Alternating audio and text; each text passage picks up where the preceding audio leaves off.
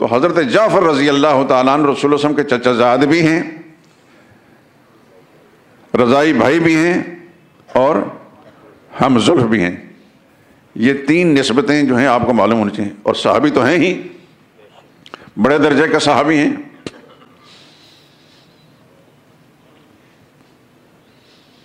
यही वो शख्सियत है कि जो अपनी अहलिया हज़रत असमा बिन उमैस के साथ हबशा की तरफ़ इन्होंने हिजरत की थी। नजाशी शाह हबशा के ईमान लाने में इनकी मेहनत को बड़ा दखल है। इन्होंने बहुत मेहनत की थी। बल्कि नजाशी शाह हबशा के सामने बाज़ हासदीन और बदखाओं ने इनके ख़िलाफ़ कुछ बातें की। मसलन ये बातें की कि ये हज़रत ईसा को खुदा का बेटा नहीं कहते। आप जानते हैं कि ईसाइयों का यकीदा है। और मुसलमान का अकीदा यह है कि लम यलिद वलम यूलद। न अल्लाह का कोई बेटा है, ना अल्लाह का कोई माँ बाप है। तो उस वक्त मुसलमानों को कोई परेशानी हुई कि नजाशी शाह हमशा ये तो ईसाई हैं उनका अकीदा है, उनके अकीदे के ख़िलाफ़ कोई बात हमारे खिलाफ बारे में बताएगी तो ये तो हमें मुल्क से निकाल देंगे। आपस में मशरा किया सब साहबा ने फैसला किया कि सच कहना है। यही तो उनकी खूबी थी। यही तो इम्तियाज़ था कि सच ही कहना है। सच सिखाया था, सच्चे नबी ने सच सिखाया था। सच पर कायम रहे और सच पर अल्लाह ने उनको कामयाबियाँ दी। हमारे साथ कुछ भी हो, सच कहना है। नजाशी शाह हमशा ने बुलाया। हज़रत ईसा के बारे में क्या कहते हो? तो चूँकि मुतकलम तर्जुमान हज़रत जाफ़र थे, और जाफ़र हमारे पैगंबर हज़रत मोहम्मद मुस्तफ़ा सल्लल्लाहु ने यह सिखाया है कि वो अल्लाह के सच्चे रसूल थे और खुदा के बंदे थे।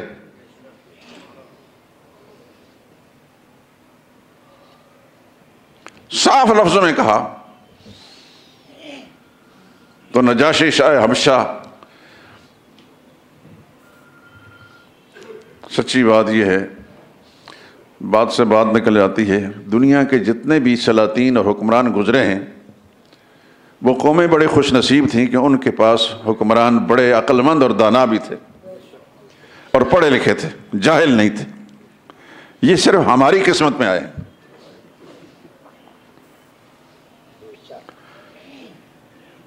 अल्लाह हमारे गुनाहों को माफ़ करे। हम इतने अल्लाह की नज़रों से गिरे हुए हैं कि वो अच्छे हुक्मरान हमें नहीं मिलते। दुनिया में जितने भी मुसलमान या काफिर हुक्मरान गुजरे हैं, आज भी तकरीबन तो उनमें कुछ अहलियत और सलाहियत रही। कम कम अपने मज़हब के बारे में जानते थे। मैं शायद आपको इसी मजलिस के अंदर कैसर रूम रूम का जो बादशाह कैसर था, उसके बारे में बता चुका है। इमाम बुखारी इन किताब ईमान में बड़ी लंबी एक रिवायत लाए हैं। किसी दूसरे मौके पर फिर तफसील से बयान करूँगा।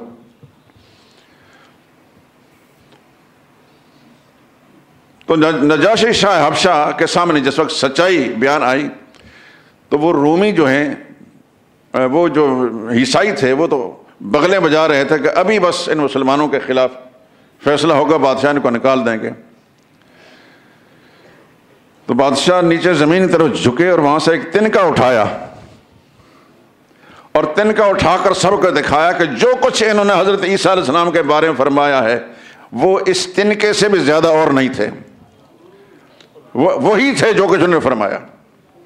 उनमें कोई उलूहियत नाम की कोई चीज़ नहीं थी, ना खुदा थे, ना खुदा के बेटे थे।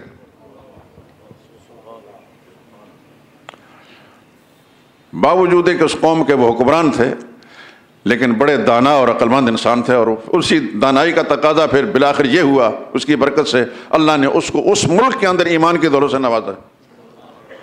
लेकिन उनके मुसलमान होने में हज़रत जाफ़र का बुनियादी एक किरदार रहा। ये रसुल्ला सम के सहाबी थे रसुल्ला के चचाजाद थे रसुल्ला के रज़ाई भाई थे और हमजल भी थे।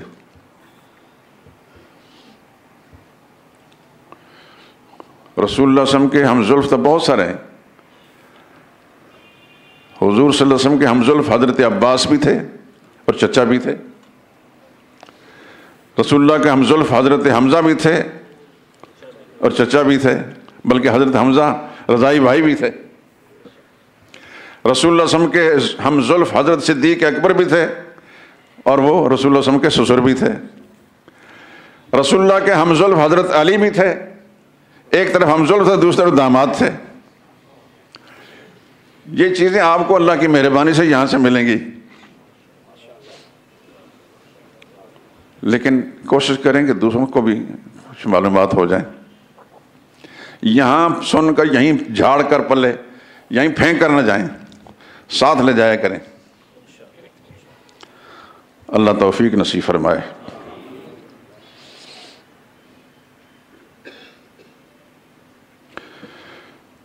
हज़रत जाफ़र जब हबशा से वापस आए हैं, सन सात हिजरी में जब गजवाए खैबर हो रहा था, उस मौके पर वापस आए हैं तो नबी करीम सल्लल्लाहु अलैहि वसल्लम ने इनका इस्तकबाल किया और हज़रत जाफ़र का माथा भी चूमा।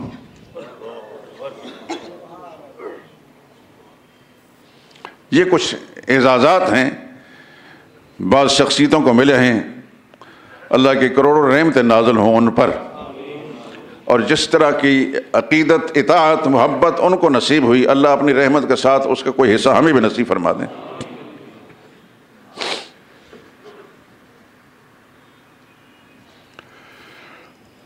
हज़रत जाफ़र जब वापस आए हैं, असल बात अब करने लगा मैं।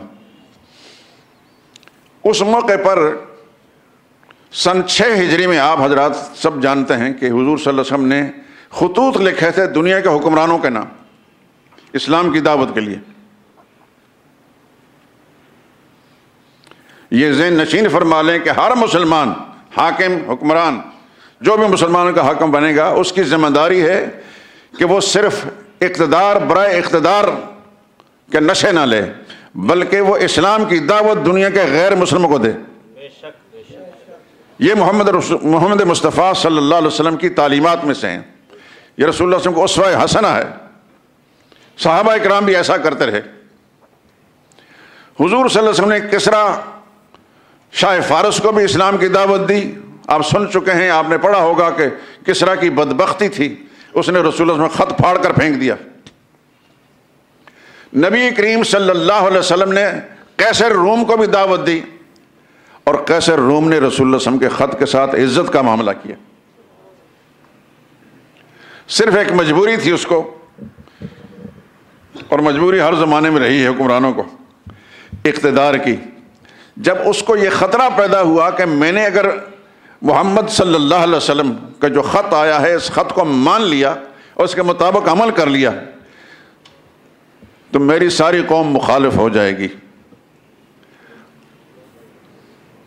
और मेरा इकतदार जवाल पजीर हो जाएगा। इकदार बचाने की खातर उसने ऐलान कर दिया कि मैं कब मानता हूँ, मैं तो समझ तुम्हारा इम्तिहान लेना चाहता था। इमाम बुखारी इस रिवायत को लाकर, बुखारी शरीफ में कहते हैं कि जानने और पहचानने का नाम ईमान नहीं, मानने का नाम ईमान है। पहचान तो बहुत सारे लोग गए हैं, हजूर सल्लम को।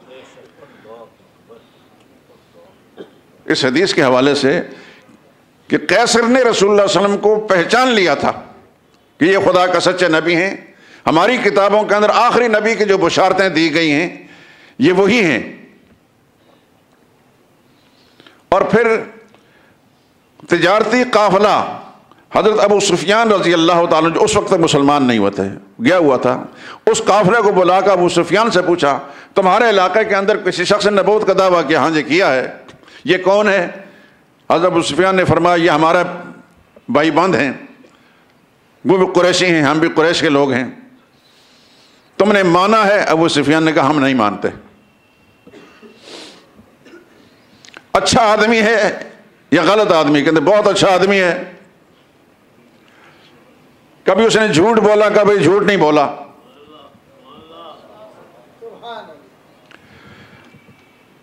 अल्लाह अकबर। जादू वो जो सर चढ़ कर बोले। एन उस वक्त अबू सुफियान रसूल के अकीदे के खिलाफ हैं। लेकिन कोई गलत बयानी नहीं की उन्होंने। उस जमाने के काफर भी झूठ बोलने को नफरत समझते थे। इस जमाने का मुसलमान झूठ बड़े शौक से बोलता है। अल्लाह हमारे गुनाहों को माफ़ करे। तुम्हारा कभी उसके साथ मुकाबला हुआ कि नहीं हुआ? किसको कामयाबी मिली? कभी हमें मिली कभी उनको मिली? उसके खानदान में इससे पहले किसी ने बात खानदान में पहले से कोई बादशाह गुजरा कि नहीं गुजरा? ये सवाल इसलिए पूछा कि अगर बादशाह गुजरा हो तो बाद में आने वालों को फिर ख्याल गुजरता है कि मेरे ख़ानदान में बड़े बादशाह गुजरे मैं क्यों बादशाह ना बनूं? यानी इस तरह के बहुत सारे सवाल पूछे। हर सवाल का जवाब हज़रत अबू सुफियान जो उस वक्त गैर मुस्लिम थे सही दिया तो अबू सुफियान के सारे बयान सुनने के बाद कैसे रूम कहने लगा? जो कुछ कहा गया खुदा के सच्चे नबी ऐसा ही होते हैं।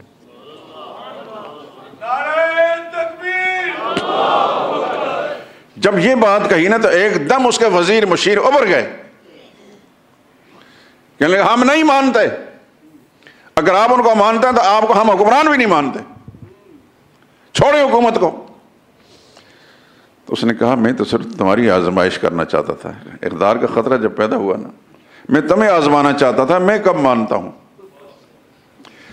तो इमाम बुखारी ये सारी रिवायत लाकर बताते हैं कि जान चुका था रसूल को पहचान चुका था। माना नहीं, इस वास्ते मुसलमान नहीं कहा गया। अल्लाह ताला हमें पहचानने के साथ साथ मानने दिल की गहराइयों से, जिसम के हर हर रग के ज़रिए से मानने की तोफ़ी नसीब फरमाए। तो हज़रत जाफ़र तैयार रसूल का खतूत जिस वक्त दुनिया के सलातीन के नाम गए तो मुल्क शाम जिधर रूमी रहते थे, वहाँ का एक गवर्नर था शुरहबील बिन आमर गस्सानी उसको भी रसूल का ख़त गया। ख़त ले जाने वाले एक साहबी थे हज़रत हारिस। उस बदबख्त ने हज़रत हारिस को फौरी तौर पर कत्ल करा दिया। आप जानते हैं कि दुनिया में पहले से ही उसूल चले आ रहे हैं।